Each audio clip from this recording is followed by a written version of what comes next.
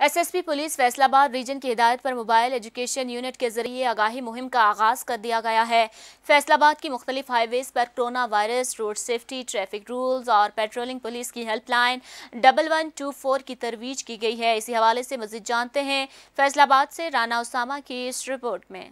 SSP patrolling police Faisalabad region Mirza Anjum Kamal की हदायत पर district DSP patrolling Malik Mohammad Amin ने mobile education unit Faisalabad की team के हमरा फैसलाबाद की मुख्तलिफ़ हाईवेज पर कोरोना वायरस रोड सेफ्टी व ट्रैफ़िक रूल्स और पेट्रोलिंग पुलिस की हेल्पलाइन ग्यारह चौबीस की तरवी के लिए आगाही रोड शूज़ का इनका किया, जिसमें district D S P patrolling Malik Mohammad Amin और incharge mobile education unit sub inspector Ijwan Bhatti ने शहरियों को corona virus S O Ps पर सख्ती से अमल करने की हिदायत करते हुए कहा कि कोरोना वायरस की तीसरी लहर इंतहाई खतरनाक साबित हो रही है। मास्क का इस्तेमाल लाजमी करें। एक दूसरे से छः फुट का समाजी फासला अख्तियार करें। गले मिलने और हाथ मिलाने से गुरेज करें। शहरियों को रोड सेफ्टी व ट्रैफ़िक रूल्स के मुतलक मफीद मालूम फ्राहम करते हुए कहा कि तेज़ रफ्तारी ना करें। सीट बेल्ट व हेलमेट का इस्तेमाल करें। दौरान ड्राइविंग मोबाइल फ़ोन का इस्तेमाल मत करें। इस दौरान शहरियों को कोरोना वायरस और रोड सेफ्टी ट्रैफ़िक रूल्स के मुतल मुतलक आगाही पम्फलेट भी तकसीम किए गए